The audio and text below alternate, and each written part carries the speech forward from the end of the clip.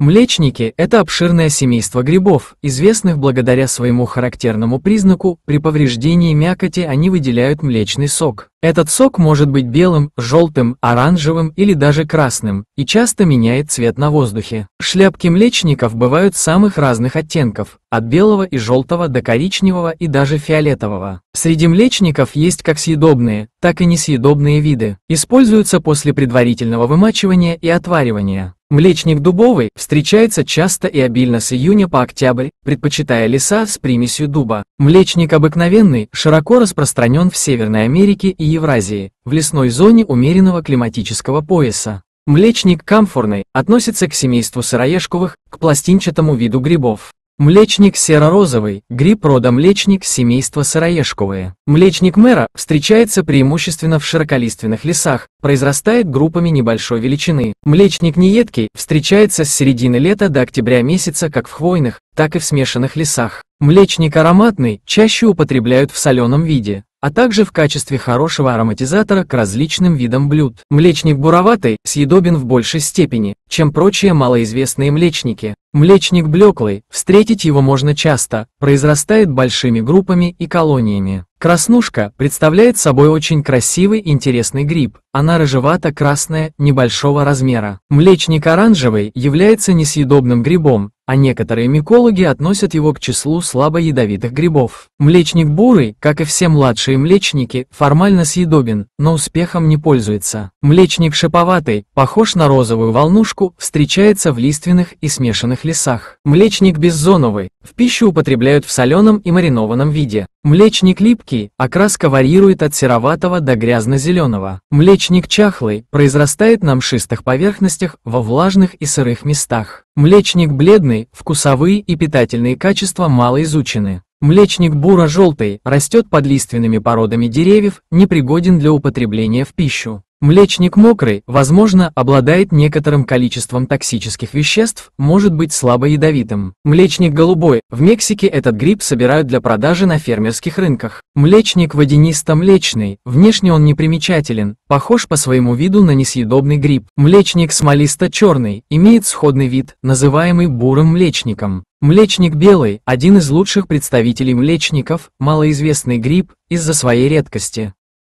Собирайте только те грибы, в которых вы на 100% уверены.